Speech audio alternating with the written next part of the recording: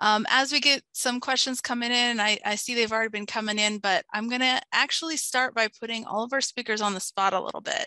See how much you were paying attention to each other and ask if you would be willing to uh, think about a couple management principles that would be applied across these sectors that um, could be used to sort of combat this sort of growing antimicrobial resistance.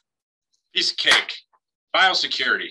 It works. you, the, the hog people are talking about it. The dairy people are talking about it. The beef people are talking about it. It works. It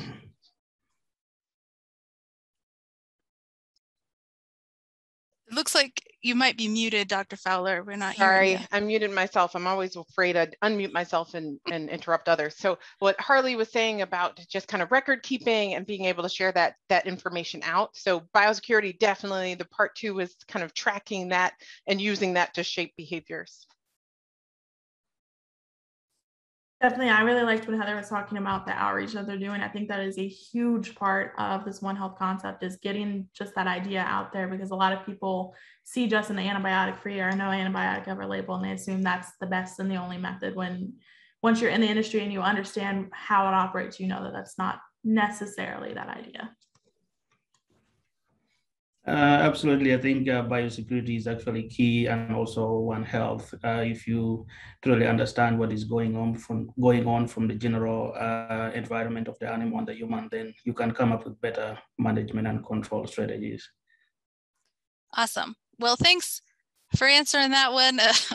listening so well to each other's talk. So we'll get into the audience questions here. I'm going to start with one from Kathy for Dr. Fowler.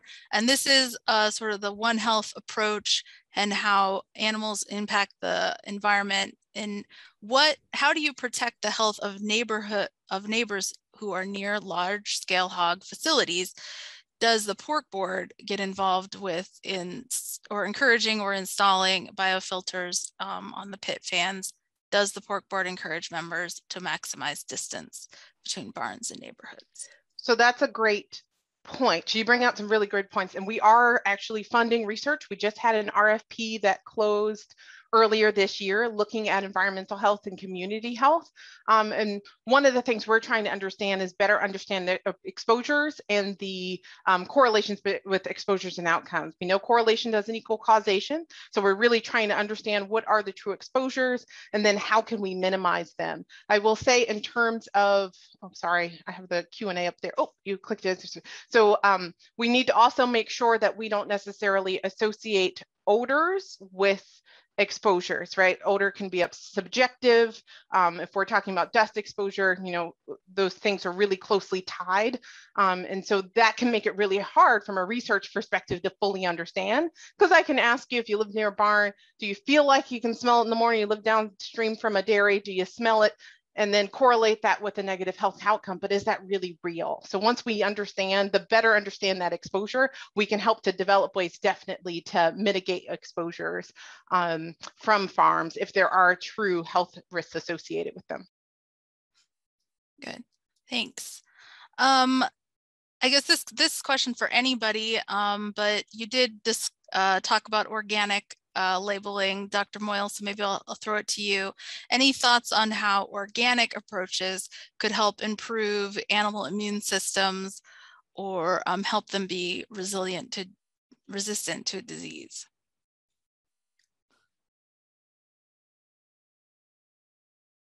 You know, that's something people have been looking at for a while. In fact, I did some research on that when I was at ARS before I came to Maryland. And we, we it gets really weird there because some of the things will work in a laboratory, then you try and do it in the field, and you have so many other actors at play that you can't control that things don't work the same. And sometimes it may work on your farm, but not on Emmanuel's farm. So, you know, you, there's a lot of stuff in here that we really don't understand and, and we're working on, and, and which compound in that organic product is actually doing the benefit, you know, where we got to isolate down, are we getting the same dosage each time? So there's so many things that we really don't understand. And there's a lot of research going on looking into those things as we speak.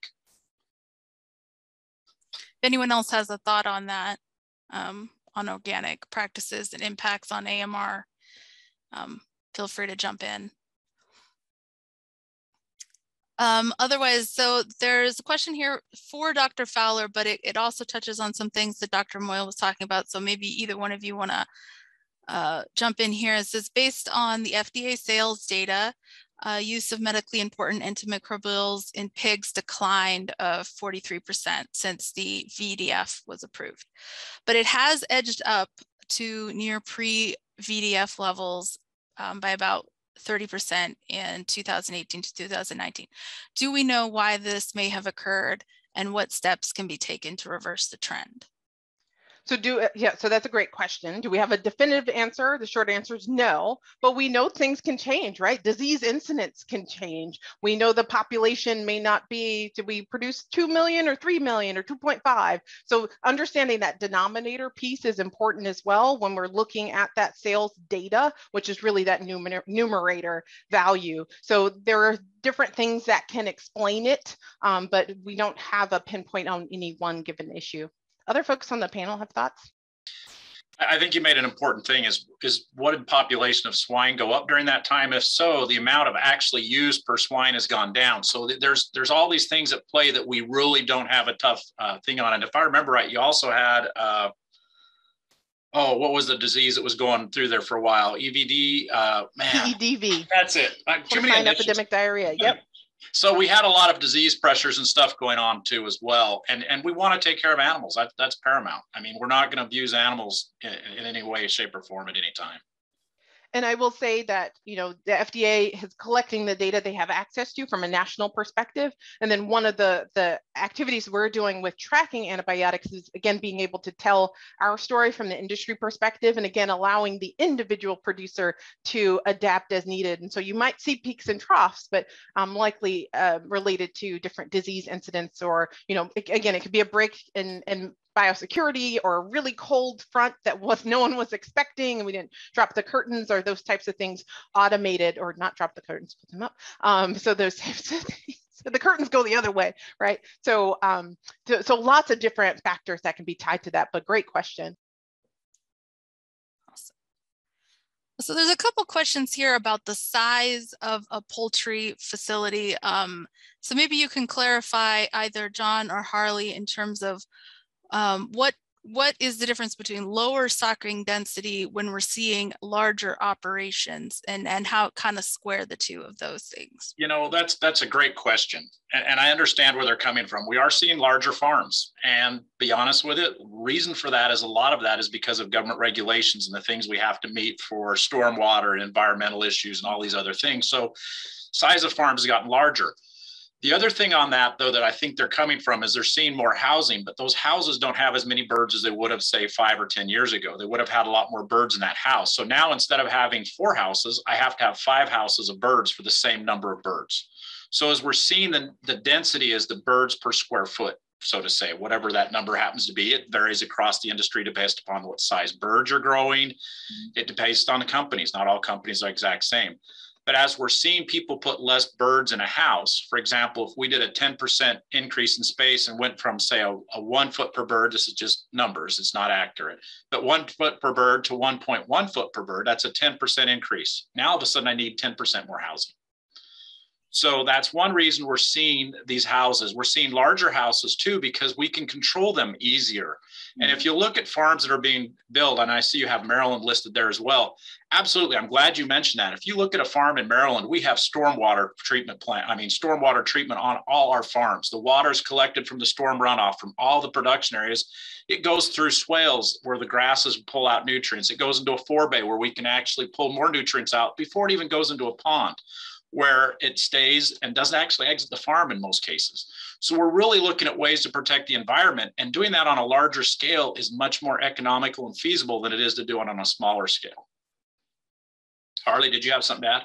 No, you summed up beautifully. I think the big thing for that is you are seeing, like you said, those larger houses, but there's there's method to the madness, I guess is the way to say it. The larger houses are a result of some of the extra requirements that we have to put in um, but even though you are necessarily seeing a larger house, the amount of birds that are going placed into that house is much lower than what it previously had been years before. And that's there's a lot of factors that are going into that, such as you know the target weight for that bird or the strain of that bird and so on.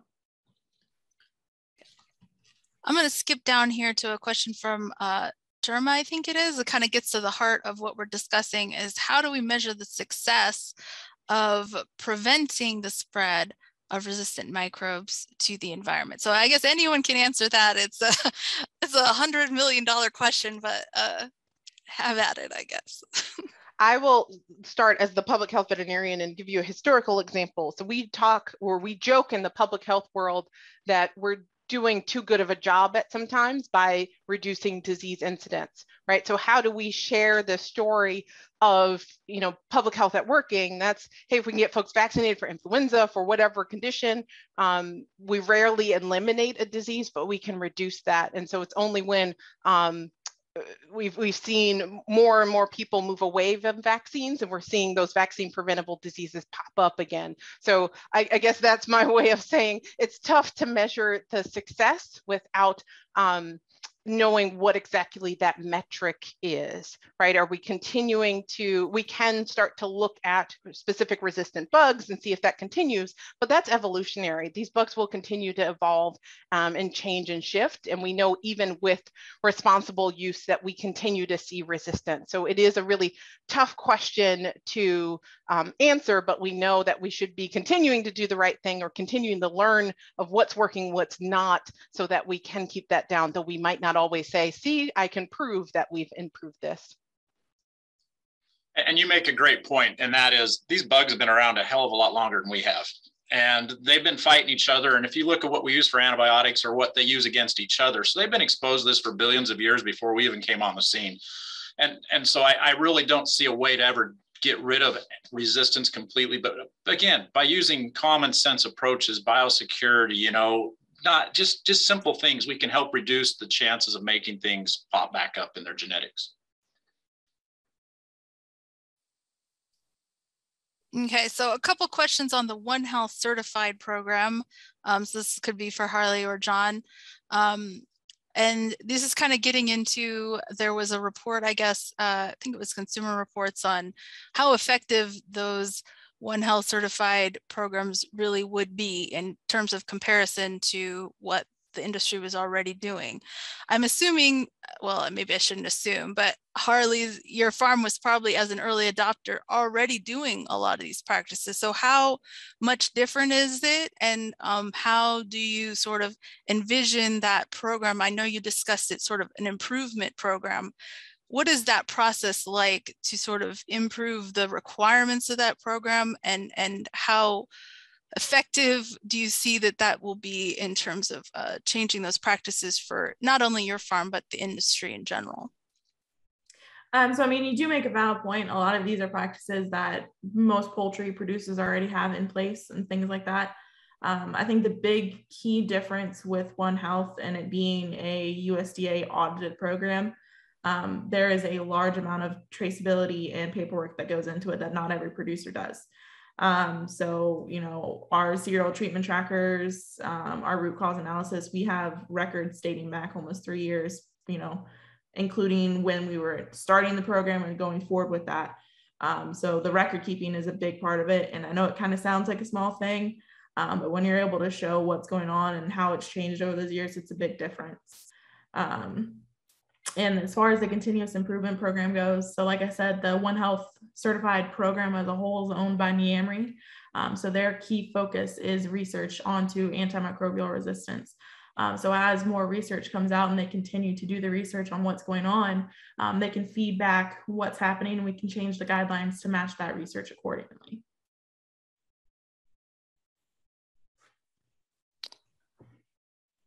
Okay, so um, there's there's still a lot more questions here. I don't know we'll get to them all, but um, uh, how about uh, are there any new strategies for encouraging more individual animal care? Um, this I guess would be touching on a lot of those preventative and biosecurity measures. Um, but they continue using injectable antimicrobials perhaps or uh, to reduce overall use and load on the environment. You know, that, that's an interesting question because in the poultry industry, we treat things as a flock. Mm-hmm. And, and I know that in swine, often it's a herd. Where we get to cattle and stuff, a lot of times we'll go to individuals. Um, one of the things I've seen some some talk on in that is robotics. As we become more aware of what robotics can do, because it's, it's very labor intense to try and give injectables. Again, we're, we're talking 9.2 billion chickens a year in the United States. If you think about how long that would take to inject every one of those animals, or even just the sick ones, you're, you're talking about a massive undertaking. I think it's going to be very interesting to see what happens as we move forward with some of these robotics that are able to assess situations in houses and then help take corrective actions. And I will add to that, um, to your point, John, that um, it also depends on the pathogen and then how the animals are housed. Part of the issue is if we're talking influenza, it will move through a, a, facility very quickly. With hogs, we often have them in different rooms. So there is the option potentially, depending on where the animal is at the time it becomes sick, to, to isolate the animals in those rooms, right? To to treat the sick, to control disease there, however you do that, depending on whether it's vaccine, whether it's antibiotics, et cetera. Um, so we need to keep that in mind um, and constantly recognize that how that pathogen can shift that. But we are um, I will say that we're teaching in vet school, and I took some courses at Iowa State as well. We're teaching the students to look at the facility, then come in to the facility, walk through, to look at a room, and then focus on the individual. We are teaching them that way. And I know with some of the pharmaceutical areas, um, excuse me, they're also teaching about some individual pig care. But as you said, there's times when the herd is impacted and you need to treat the herd. So it really is case dependent, unfortunately, such is medicine. Yeah, those are really great points raised there. Uh, I just wanted to add a little bit when it comes to the dairy industry. Well, we do uh, do treat individual animals, but also do treat animals at a hard level. But really, uh, one thing that comes to my mind is diagnostics. It's really important to be able to identify the organism causing the infection and can guide whether you're treating an individual animal or a group of animals.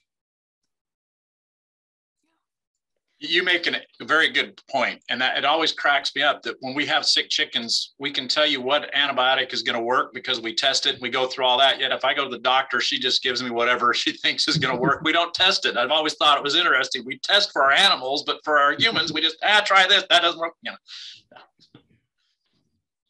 I like my doctor by the way. I, I want to throw that out there Uh, so there's one question, and this one comes up a lot on AMR stuff because it's a genetic thing. Is there a way to sort of genetically engineer a way out of it to produce animals that are effectively disease free? I don't know how everyone would like to eat those, but um, is that even a possible thing? Say that again. Um, any genetic thoughts about genetic engineering approaches to produce disease free animals? You know, genetic engineering, it depends on what you're talking about. Right now, we do look at the genomes of these animals that are selected for breeders at, at the upper levels. So we are, but we're not playing with the genes. We are just looking for animals that carry the genes that we currently want. And we are identifying which genes do cause which resistance to different uh, diseases. So that is currently being done, not where they're manipulating the genes. I want to make sure that's stated. We're just looking for individuals that carry the genes that we're wanting to be able to pass on that resistance to, to their offspring. Exactly. So that's a, a great comment in terms of how we can I don't like to say genetically manipulate, but how we through selective breeding can get there. There has been some research in swine around um, genetically engineered um, resistant hogs. And I think that's something that will be continued to explore. But one of the questions is, will the consumer accept it, right? We've seen breakthroughs in the dairy industry, right? That um, helped with production, helped with the bottom line. But at the end of the day, the it became an inverse marketing, right? You know free of this. And so we we do need to think about those things. And this is again a one health issue. If you're breeding animals that are resistant to this this that will positively impact their welfare right? If they're no longer susceptible and don't have to go through the suffering if you will of being um, sick with that disease. So something that we'll continue to explore through research um, and outreach throughout the years. All right. So before we, wrap up, I'm just going to ask all the speakers if if you feel like we're leaving something out on this discussion of AMR and livestock production, um, what did we really, what do you really hope that the audience is going to take away from this? Uh, there is something I do need to add, and Greg Martin put it in their questions, and that is when we're talking about larger farms, whether it's swine, whether it's chicken, whether it's dairy, vegetative buffers around them can be very beneficial to help with odor. It can help with dust, and it can also there's there's actually some data out there showing that it actually helps control any of the pathogens or any of the bacteria from leaving the farm. So I do want to I want to thank Greg for reminding me of that because we do a lot of work with vegetative buffers to help. And I will add that I saw that comment as well, and I, I, will look into that. So I cover primarily the public health AMR food safety space, and I have a, a, colleague that covers the environmental health space. So I'm a little bit out of my wheelhouse here. So I appreciate that reminder. And I know that some producers have um, done some of that. You might drive up the highway and see a just a ring of trees, and you're like, well, that's strange. There's a pig farm in the middle of that. So they have been looking at that. I know that from experience, but I'm not um, completely up to date on that research there, but I know my, my colleague is. So thanks for, again, for making that comment for others to see.